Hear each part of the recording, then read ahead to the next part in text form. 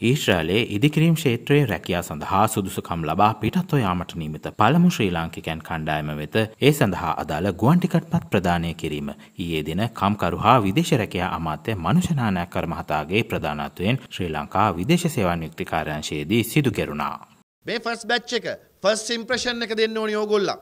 ඕගොල්ලෝ ගිහලා හොඳට වැඩ කරොත් අපිට ඉතුරු විසිදාහම මාස තුන හතරක් ඇතුළත යවල ඉවර කරන්න පුළුවන්. අද මේ දවස් ටිකේ ටෙස්ට් එකට 9000ක් විතර සම්බන්ධ වෙනවා. අපි බලාපොරොත්තු වෙනවා ඊළඟ මාසෙත් මුල තව ටෙස්ට් එකක් තියන්න. දන්න අයට කියන්න විදේශ සේවා නියුක්ති කාර්යාංශයේ සම්බන්ධීකරණය කරලා ඊළඟ ටෙස්ට් වල මේ ටෙස්ට් වලට වෙනම අයට එන්න බෑ දැනට නම් දීපු අයට විතරයි එන්න පුළුවන්.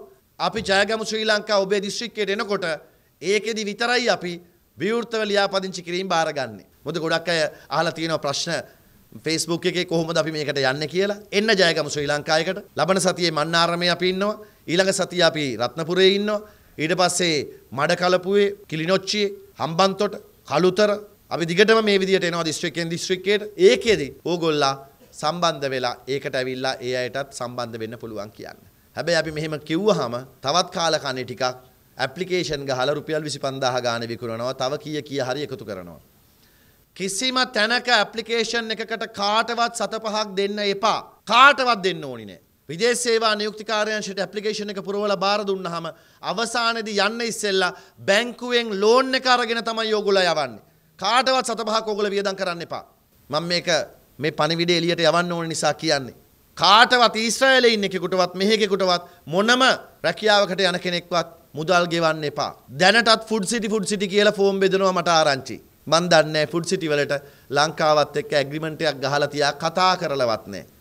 උම්ම උපකල්පනය කරලා උම්ම හදලා උම්ම විකුණලා උම්ම සල්ලි අරගන්නවා. මේක බරපතල ප්‍රශ්නයක්.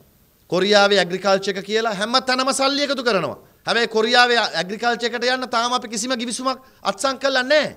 අපි කියන්නේ කවුරු හරි සල්ලි ඉල්ලනවා නම් ඒක ගැන අපිට කරුණා කරලා පැමිණිලි කරන්න දවසකට අපි කීප දෙනෙක් අත්අඩංගුවට ගන්නවා. දන්නවනේ ඉතින්.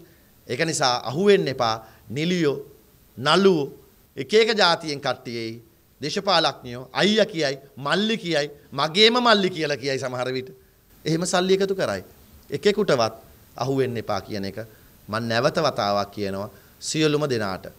ඒ රටට ගියාම පරිස්සමෙන් වැඩ කරලා අපේ නම තියන්න රටේ නම තියන්න අපේ තව 20000කට ඒ රටට එන්න ඉඩ තියන්න ඒකට පහසුකම හදන්න ගියපු ගමන් කැප වෙන්න ඕගොල්ලෝ වැඩ පෙන්නුවොත් ඕගොල්ලන්ගේ ජීවිතේත් ගොඩ යනවා ඒ විතරක් නෙවෙයි රටේ දහස් ගානකගේ ලක්ෂ ගානකගේ ජීවිත අපිට ගොඩ දාන්න පුළුවන්.